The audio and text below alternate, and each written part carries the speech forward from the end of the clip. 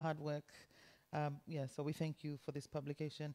In a moment, we will view a video presentation by Arnie um, on his book titled Ecological Economic Accounts Towards Intemerate Value. But first, a brief introduction uh, to Arnie. Mr. Arnie Saiki has been broadly focusing on regional, economic, and geopolitical themes in the Asia and Pacific regions. He was the coordinator of the Moana Nui conferences, a partnership between the International Forum on Globalization and Pua Mohala Ikapo, and has been researching and writing on issues around trade and globalization for many years. He has been vigorously researching national accounting systems, and this publication addresses the intersections between trade and globalization and national accounting. He is from Hawaii and resides in Los Angeles with his wife and children.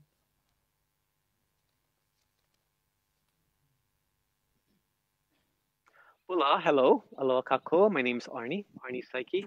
I hope everyone has had a good day and that everyone is well. First off, I want to thank the Pacific Conference of Churches, the Oceania Center for the Arts, Culture, and Pacific Studies at the University of the South Pacific, and the Pacific Theological College for publishing my book. It's called Ecological Economic Accounts Towards Intemerate Values. This book addresses a subject called national accounting systems that many find to be technically challenging and I hope to make it more accessible to people. National accounting systems are supposed to reflect the strength of our economy, but how that it is measured is extremely biased, and that is something that has to change. Small economies and developing countries should have the same access to measuring our economic strength as the large industrial advanced economies do. And when you think about these differences, the answer has so many biases attached to it. Economic justice really is a justice issue, and with all the myriad and complex realities of our world, we need to consider how to equalize our global economy. So, what is this book about? At the core, it's really about environmental and economic justice. It's about well being, and it's about how we equalize advanced economies with developing countries. This book is an approach of how we can transition towards a more just, fair, and equitable global economy. And how we, how we do this, how we transition towards an, an ecological economic account, is by recognizing the need for a new approach. And so we develop this equation, and this is what our working group devised. Um, this is an equation that was developed through meetings and conferences with not only the Pacific Conference of Churches and the Pacific Island Forum, but in other international conferences addressing globalization, militarization, trade, the environment, and indigenous rights. This was developed with very specific campaigns in mind around protecting our oceans from deep seabed mining, um, independence campaigns providing solidarity with the free West Papua, um, Kanaky independence, Tahiti independence, Rapa Nui independence, and my own work around Hawaii independence. This is an equation that was created for decolonization campaigns worldwide, whether they be national or social or environmental. This is an equation in support of poor people's campaigns to help address systemic poverty. This is an equation inspired by the movement to protect Gangjeong village on the island of Je- Jeju against military base building. This is an equation to support our water protectors from the Dakota Access Pipeline, our Mauna protectors against the 30 meter telescope. This equation could be used to support groups like Idle No More and support racial justice campaigns like Black Lives Matter. This equation was literally conceived through cross oceanic solidarity movements. Decolonization is central to this equation because we're talking about liberation, and that does not only include people's liberation, but also an ecological and economic liberation from the tyranny of a system that has enforced an entire legal regime that has been unjust to peoples and the environment. So, this equation provides a lot of room for discussion and for participation in terms of how we value our equity in a new global economy.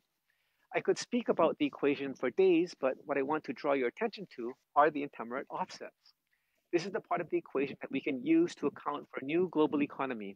We are talking about a 21st century economy that has the technological tools to measure, to count, to examine, protect, nurture, analyze, collect, describe, compile, publish, monitor, and manage our environments and our interactions with each other. Intemerate offsets allow people to develop their own indigenous or customary methodologies, but at the same time, it allows states to adjust or transition at their own pace. Upon reading this book, people will be able to see how countries, regions, and communities are able to transition away from GDP at their own rate.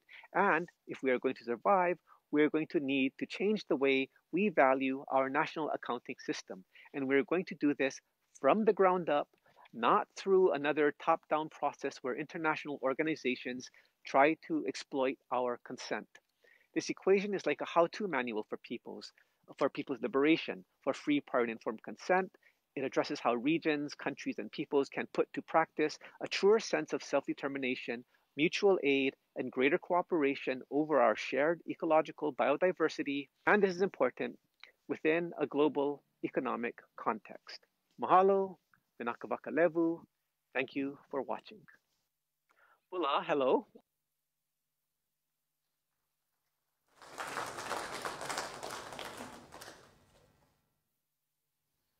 For many of us who attended the REM conference held in Nadi last year, the concept of ecological accounting seemed at first quite difficult to process.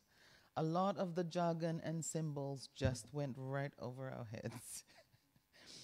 but in his own patient way, Arnie clarified the critical need to begin to rethink economic values and to consider ecological values and cost benefits as well as opportunity costs in relation to the environment.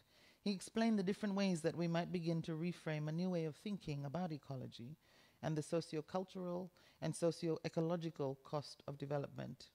It took some of us quite a while to get our heads around the jargon, but it became very clear, as he um, explained in the video, that what we were talking about was justice and equity, and for everyone involved, that was and is a very exciting part of the REM conversation.